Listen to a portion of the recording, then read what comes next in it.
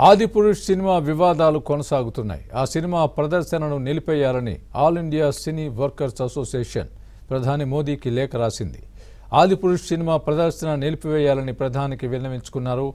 ఓటీటీలో విడుదలకు కూడా అభ్యంతరం వ్యక్తం చేశారు.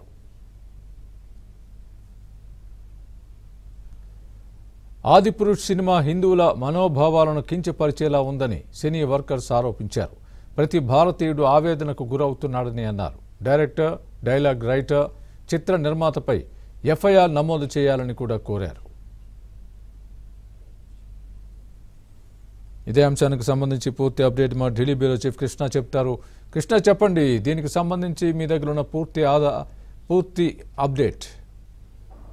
స్వామి ఆదిపురి సినిమా ఆది నుంచి కూడా వివాదాల్లో మునిగి తేరుతుందనే చెప్పొచ్చు.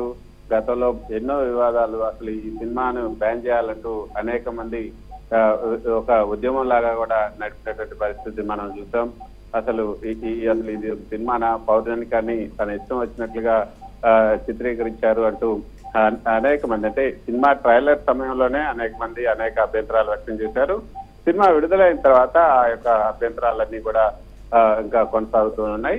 తాజాగా గతంలో చూసిన నేపాల్లో కూడా నేపాల్లో పుట్టినటువంటి సీతను భారతదేశంలో పుట్టినట్టుగా చూపించడంతో నేపాల్లో ఈ సినిమాను విడుదల చేయడానికి కూడా అంగీకరించలేదు. ఆ తర్వాత నేపాల్లో పుట్టినట్టుగానే ఆ డైలాగ్ మార్చడం వల్లనే నేపాల్లో అన్ని అంటే ఈ యొక్క సినిమాలో ఈ డైలాగ్ ఒకదాన్ని మార్చకపోతే మిగతా హిందీ సినిమాలను ఏ ఏ సినిమాలను కూడా మేము ఆడినీయమంటూ అంటూ నేపాల్ సెన్సార్ బోర్డు అబ్జెక్షన్ పెట్టడంతో ఆ ఒక డైలాగ్ కూడా మార్చడం జరిగింది. సో ఆ విధంగా అనేక వివాదాలు పుంజుకున్నాయి తాజాగా ఈ యొక్క ప్రధాని నరేంద్ర మోదీని జోక్యం చేసుకోవాలి అంటూ చివరిగా all India cine workers association ప్రధాని నరేంద్ర మోదీకి లేఖ రాశారు. అందులో ఆదిపురుష్ సినిమా ప్రదర్శన వెంటనే నిలిపివేయాలి దానికి చర్యలు తీసుకోవాలని కూడా ఆ లేఖలో all India cine workers association విజ్ఞప్తి చేసింది.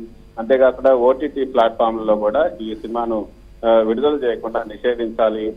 ఆదిపురుష్ సినిమా డైరెక్టర్ ఓమరాజ్ డైలాగ్ రైటర్ మనోజ్ మ- మన్షీర్ శుక్లా చిత్ర నిర్మాత వీళ్ళందరిపైన కూడా ఎఫ్ఐఆర్ నమోదు చేయాలి. శ్రీరాముణ్ణి రామాయణాన్ని కించపరిచేలాగా ఆదిపురుష్ సినిమా తీశారు. ఆదిపురుష్ సినిమా హిందువుల మనోభావాలకు సనాతన ధర్మానికి కూడా వ్యతిరేకంగా ఉంది. ప్రతి భారతీయుడు కూడా ఈ సినిమా వల్ల ఆవేదనకు గురవుతున్నారు అంటూ ఆ ప్రధానికి రాసినటువంటి లేఖలో ఈ cine all India cine workers association రాయటం ఇప్పుడు ప్రాధాన్యత సంతరించుకుంది.